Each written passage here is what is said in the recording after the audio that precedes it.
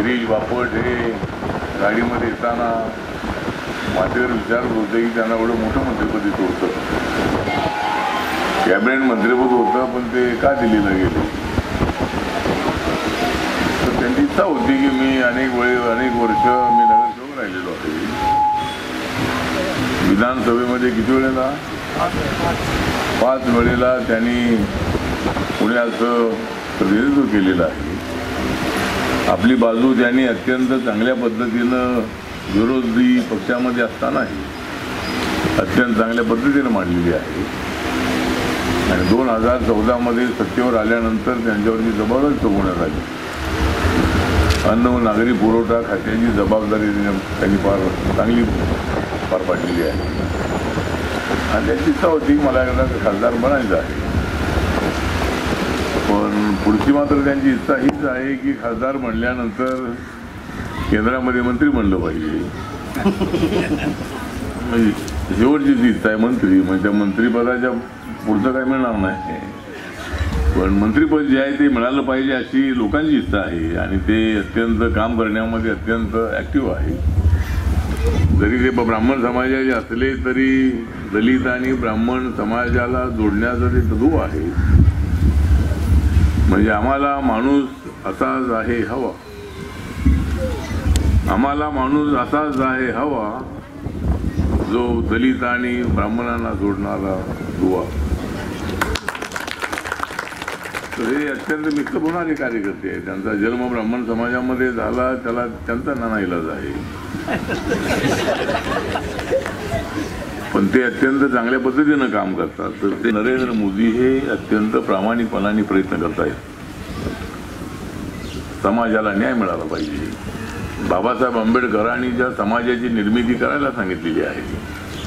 दलित आणि सवर्ण दलित आणि ब्राह्मण दलित आणि मराठा दलित आणि ओबीसी या सगळ्यांना जोडण्याची भूमिका बाबासाहेब आंबेडकरांनी आम्हाला शिकवलेली आहे. नेहमीच वाद करून आणि एकमेकावर आरोप करून हे प्रश्न सुटणार नाही. तर आपण सगळ्यांची दोस्ती केली पाहिजे. आणि त्यामुळं ब्राह्मण समाजाशी बाबासाहेब आंबेडकरांची फार जवळचे संबंध होते. बाबासाहेब आंबेडकरांच्या चौदा तळ्याच्या सत्याग्रहाला काळा काळाराम मंदिराच्या सत्याग्रहाला. अनेक ब्राह्मण असायचे.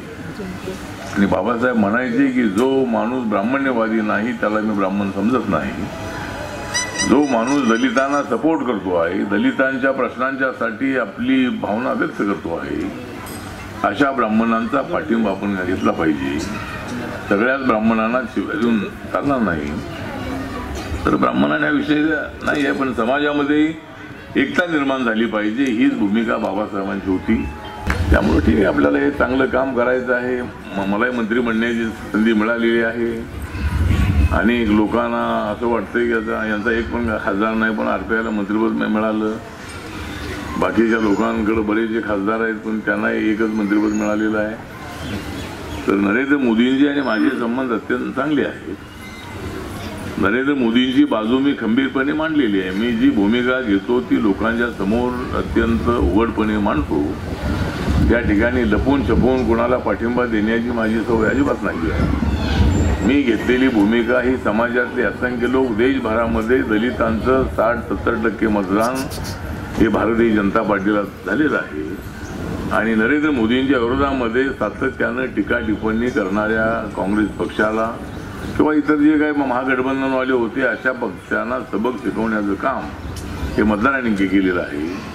नरेंद्र मोदी कोणाच्या विरुद्ध बोलत नाहीत. सबका साथ सबका विकास आणि आता सबका विश्वास. त्यामुळं मुस्लिम समाजाच्या विरोधामध्ये हे सरकार अजिबात नाही. मुस्लिम समाजामधल्या लोकांना सुद्धा ज्या योजना जाहीर करण्यात आल्या मुद्रा योजना असतील उज्ज्वला योजना असेल जनधन योजना असेल अशा अनेक योजनांचा जो फायदा आवास योजना असेल या योजनांचा फायदा हा मुस्लिम समाजातल्या लोकांना